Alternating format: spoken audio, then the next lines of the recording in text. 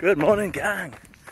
And uh, happy Easter Sunday, Saturday. Nobody knows, do they? Nobody's got a clue what day it is anymore. Uh, hope you're kicking back with some chocolate eggs, cup of tea, proper room, proper room drink tea, you know, not coffee. None of this, none of this freshly roasted bullshit. It's all about the coffee on a morning wake you up, to refresh yourself afterwards, nice cup of tea. That's what you want. Anyway, so we're out and about today, just down Pontburn Woods. Lovely, lovely area. Uh, area of outstanding national beauty, I'd have said. Uh, if we're lucky, there might still be some leftover hippies protesting against the pit. It's been shut for a couple of months. They're not, they're not the quickest, these hippies down here. So they might still be here. Um, if they are, we'll get a little interview. But yeah, enjoy the run.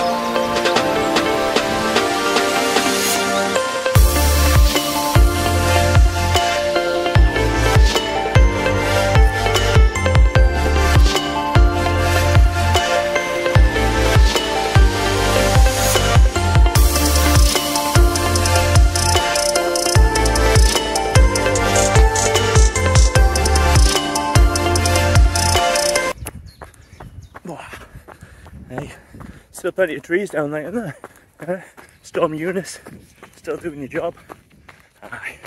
Anyway, so we're now training for the Durham Dales run. Thanks very much for the recommendations down in the comments last time.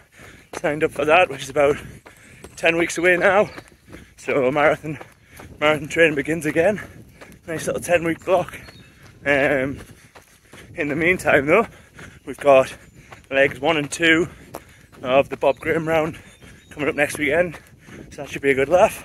Going down with a gang, gang of folk to uh, do legs one and two from Keswick down to Dunmale, Dunmail, depending on who you speak to. So yeah, that's the plans for what you're going to see on here over the next couple of weeks. Uh, so yeah, well done uh, everyone who did uh, Greener Miles backyard ultra yesterday. Looked fantastic. Um, let's have a little comment. How did it go for you? There's no down there. Definitely one for the for the um, calendar next year. Should have really, should have really done it this year. Weather was beautiful for you, absolutely beautiful, and some fantastic mileage uh, done. So yeah, good stuff.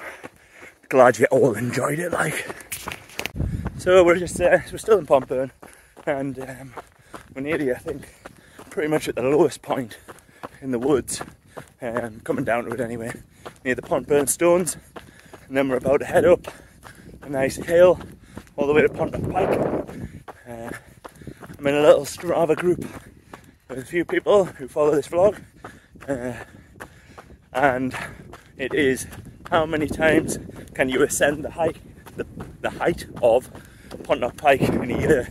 So, I think this might be the first time that I've actually gone up Pontop Pike this year, but we'll get a little picture of the trig and uh, see where we're at on the leaderboard when we get back.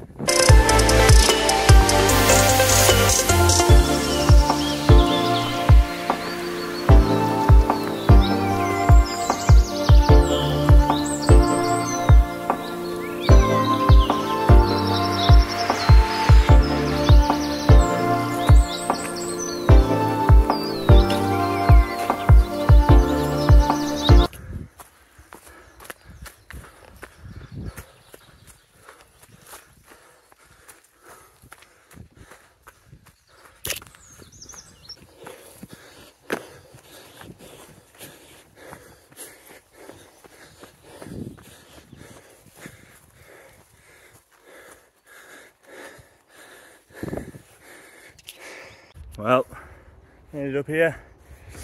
Happy Sunday. Five miles to get here. And it's worth it, you know. Really is worth it up at Pontop Pike. Just check out these views. Absolutely no view whatsoever. Yep. If you squint really hard through that fence, you can see fuck all. Well, by far and away, the least views from a trig, Pontop Pike. Well then gang, I think that's us done for the day. Nearly back to the house. Nine and a half miles, over a thousand foot of climbing in for a Sunday, or a Saturday, or a Monday, whatever it is. Uh, happy Easter. See you all for the next video over on the Bob Graham round. Have a lush week. Catch you soon.